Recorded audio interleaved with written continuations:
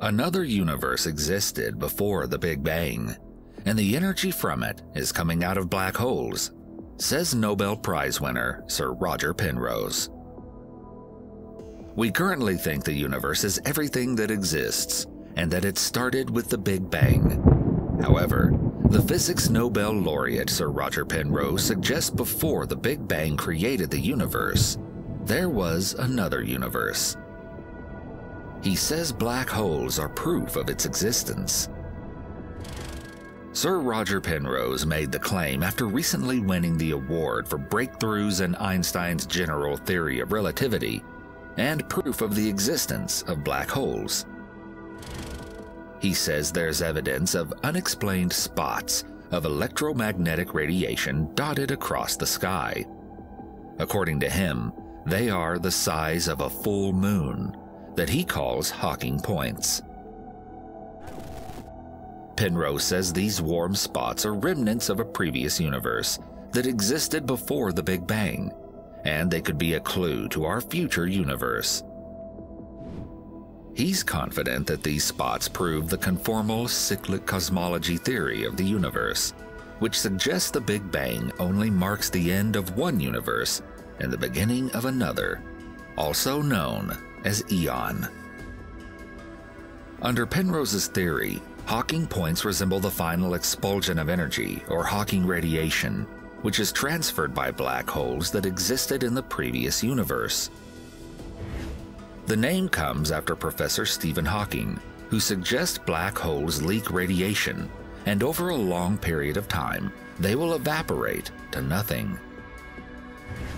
The theory is controversial, but Penrose says black holes were once considered controversial, but now they are part of mainstream science.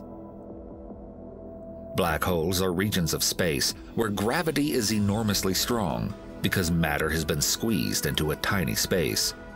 They exist throughout the universe. In Penrose's view, a universe will continue to expand until all of its matter eventually decays, and then, in its place, a new one will begin. The theory effectively states that universes develop, expand, and die in sequence, with black holes in each one leaving a mark on the universe to follow. There is a possibility that the time scale for the complete evaporation of a black hole could be longer than the age of our current universe. Thus, we cannot detect it. Roger Penrose shared his 2020 Nobel Prize in Physics with Reinhard Genzel and Andrea Ghez for their discoveries about the black hole earlier last week. For 30 years, Oxford mathematician Sir Roger Penrose challenged one of the fundamental points of cosmology the concept of inflation, which suggests the universe expanded at an enormous rate just after the Big Bang.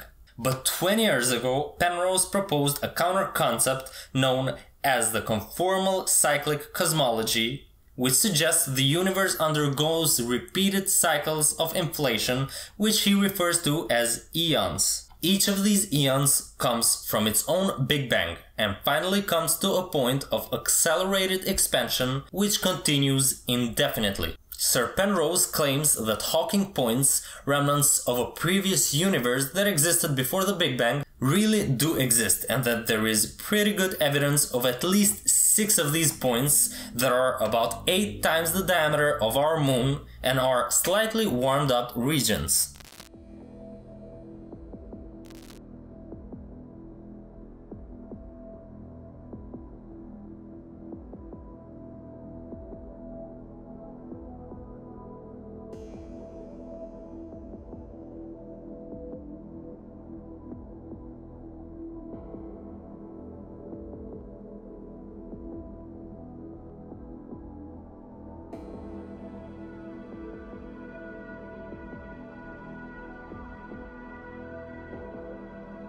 Please comment, like and subscribe to our channel and also don't forget to support us on patreon.com slash cosmoknowledge.